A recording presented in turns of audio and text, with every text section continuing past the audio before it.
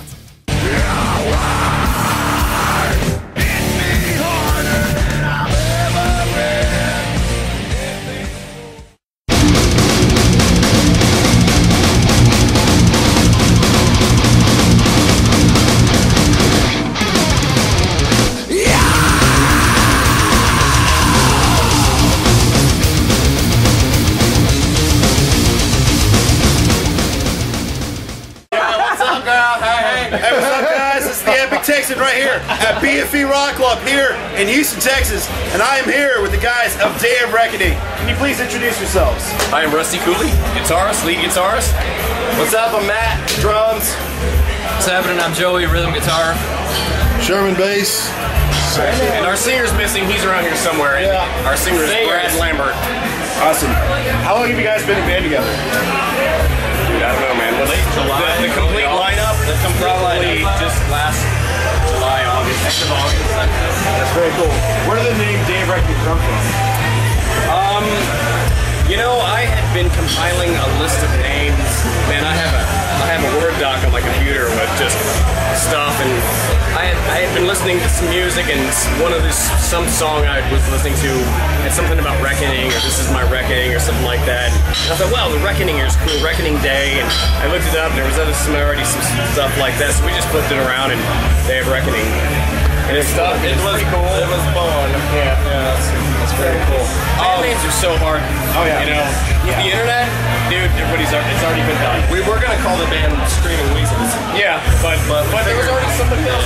I, I got a vote if you ever change it again. I think Cookie Monster would work. Yeah, Yeah. but I think uh, Sesame Street might sue us or something. Well, you can change it with a K instead of a C, so there you go. there you There you go. You know? I'm down with that. Change K. are some of your musical influences? Oh, dude. I don't know. Start. It's uh, like everything. Dream Theater. That's bad. Yeah. I mean, mine ranges. And Nirvana. Kreator ah, Destruction. Mine ranges from everything from all the early 80s guitar shred stuff to 80s metal to all the way up to modern day death metal and you know just just heavy aggressive music, shredding music that you have to work your butt off to play.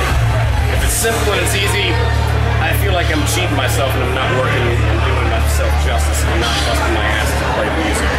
Always got to throw a challenge out there. Absolutely, it's about pushing and challenge yourself each and every day. What about you? I'm a big thrash guy, like Metallica.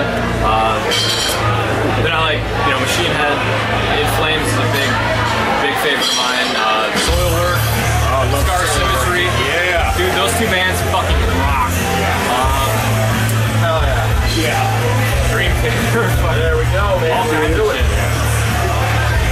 me, my influences musically Kreator, Destruction, old school shit, uh, Really heavy stuff. Suffocation, Morbid Angel. That's the shit I grew up listening to. Dude, I just jammed with David Vincent last weekend. You gotta be fucking Nope. crazy. The all-star band was me, David Vincent, Michelangelo Mania, and the drummer from Adele. Wow. Adele. Can't leave out Devil Driver Oh, Devil Driver. and friggin' Devil Driver. Yeah.